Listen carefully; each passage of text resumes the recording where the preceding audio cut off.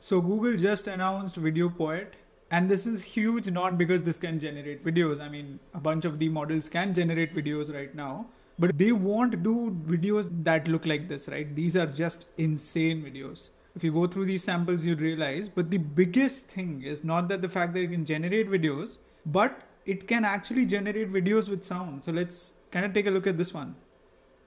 In the Amazon raccoon forest lives Rookie the raccoon and his family. Rookie loves to play soccer with his friends, collect acorns from the trees, swim in the river, and catch fish. But what he loves most is exploring new places and sniffing new smells. Except he's never made it out of the vast forest. Every night, he dreams of seeing exotic places like Times Square, the Golden Gate Bridge. One day, he sees a portal of yellow light, and his curiosity makes him step inside. Suddenly, he's falling through a long tunnel which takes him to Paris. I've never seen anything like it, he says. And then to the Great Barrier Reef and even the South Pole he makes some new friends before visiting the ISS, ultimately the planet Andromeda, where the locals didn't speak raccoon, which makes him miss the raccoon forest, and especially his family. He quickly finds his way back home. He's so happy to be back with his friends, but also grateful for his adventures.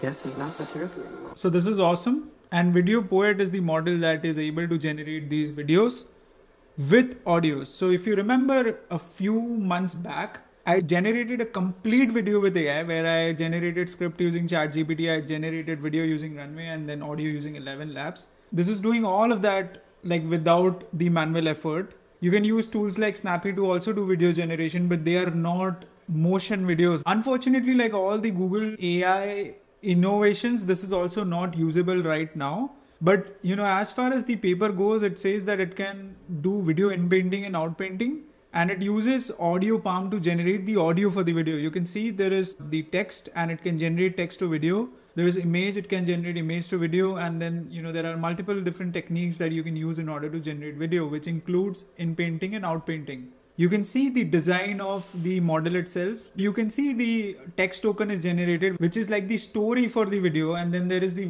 images themselves with motions. And then finally the audio is generated and post all of these the final video is generated. So these are like smaller clips that are combined to form like a bigger video which is what a lot of these tools are doing today. You can see some of the samples for the video poet here and then some samples are here. If you scroll to the bottom you'll be able to see the videos with audio generation. So let me play this one. Well the audio is upright bullshit. Let's see this one. Like this this one sounds okay. Let's see this one well, this one sounds okay too. Overall, it's not too bad. So basically think of it as mini videos combined to form like a larger video and add to that a ChatGPT based story or an AI based story forms like a complete short video of sorts. It's not like an innovation per se. It's primarily more on the lines of say decent workflow to generate content itself. These are some of the uh, examples of similar video generations, I believe. And then this is image to video control if you can upload images if you upload images it will be able to generate videos for you.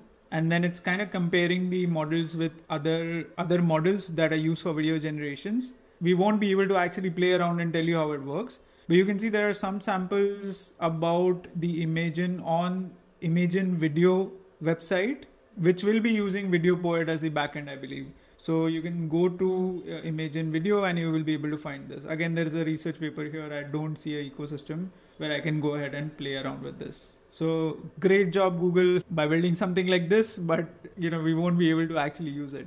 So yeah, I mean, that's all I wanted to kind of talk through the video itself. It's an insane model with obviously it's not a huge innovation per se, but if this comes out, this is going to be very helpful for a lot of different apps and people currently generating b rolls for the videos per se. So that it has a great opportunity. Let's see where it goes. See you guys in the next one